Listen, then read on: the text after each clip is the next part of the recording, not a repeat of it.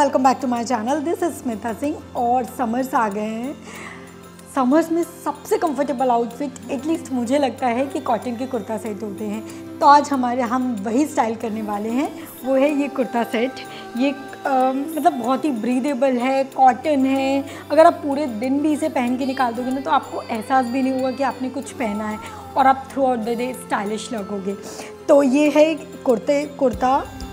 मैं दिखाती हूँ इसमें ये कुछ ऐसे ब्लॉक प्रिंट्स हैं छोटे छोटे यहाँ पर पूरा मुकैश वर्क है थोड़ा सितारे वाला और यहाँ पे थ्रेड की डिटेलिंग्स भी है गोल्डन कलर की।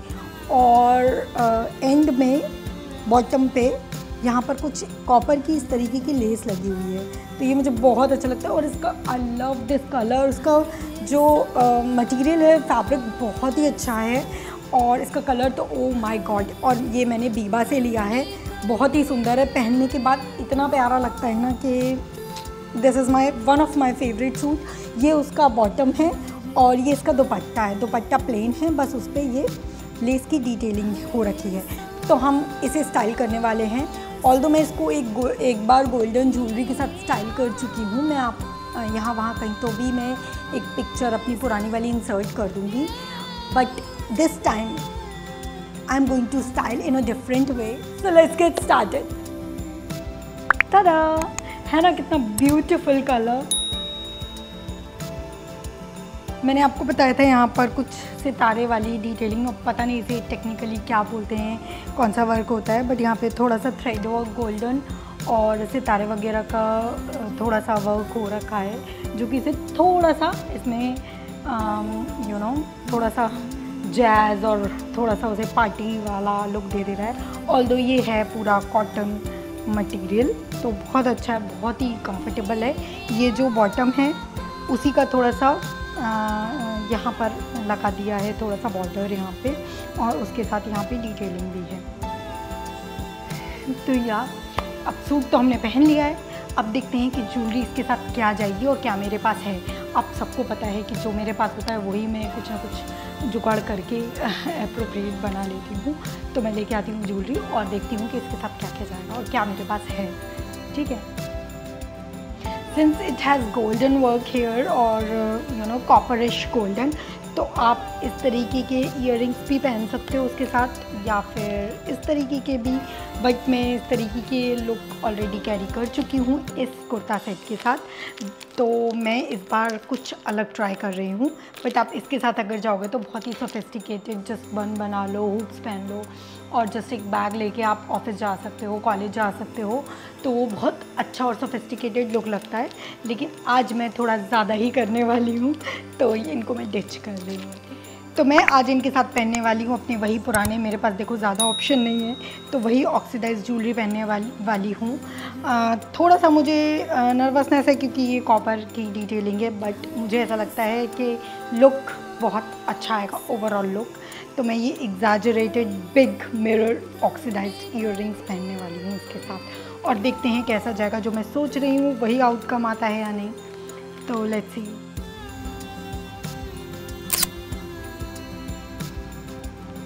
और इस इयर के साथ मैं पहनने वाली हूँ, ये घुंघरू वाली अपनी रिंग ये भी आप वीडियोस में देख चुके हैं, कुछ नया नहीं है, ठीक है? और आज कुछ मैं नया करने वाली हूँ, वो है ये। हाँ ऐसे हाँ ऐसे ही लगानी है।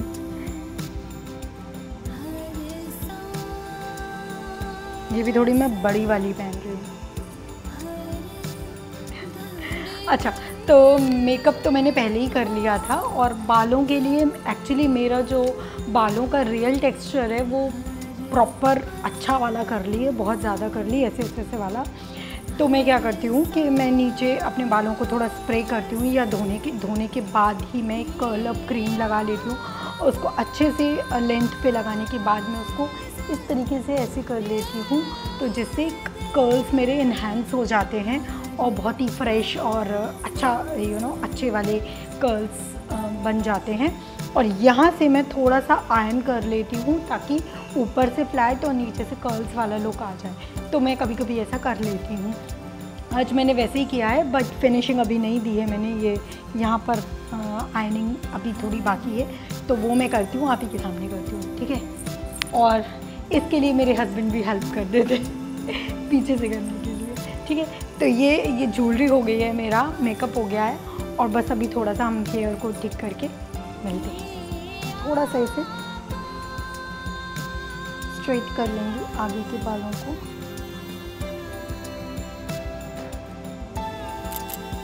मैंने बाँध लिए क्योंकि एक तो समर्स में हम ये लुक क्रिएट कर रहे हैं।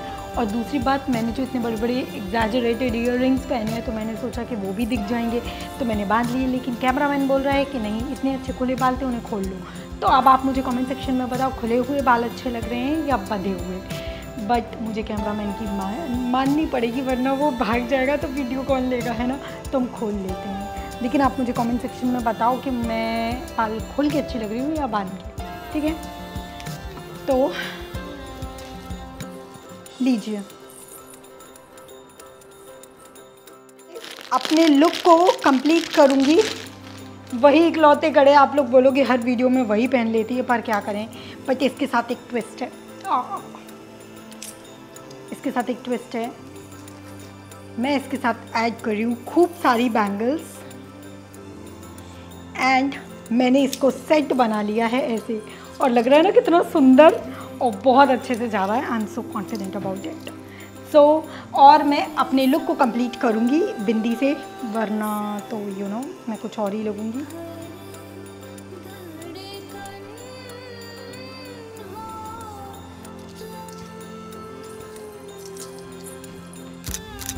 रेडी तो अगर आपको गर्मी लग रही है क्योंकि वहाँ बहुत गर्मी है तो आप बाल बाँध सकते हैं।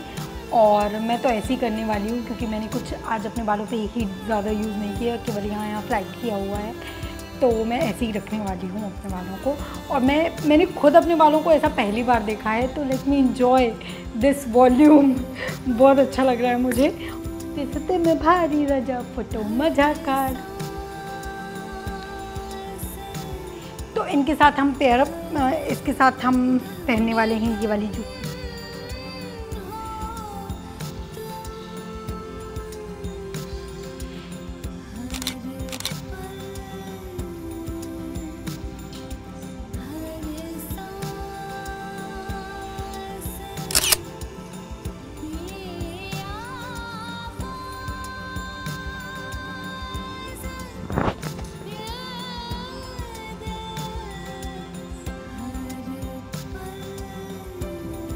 तो ये था आज का लुक आई होप ये लुक आपको अच्छा लगा होगा. मैंने आज सब कुछ पहन लिया. बहुत सारी ज्वेलरी पहन ली और बाल भी कुछ डिफरेंट स्टाइल से किए हैं. तो आई होप ये आपको अच्छा लगा होगा.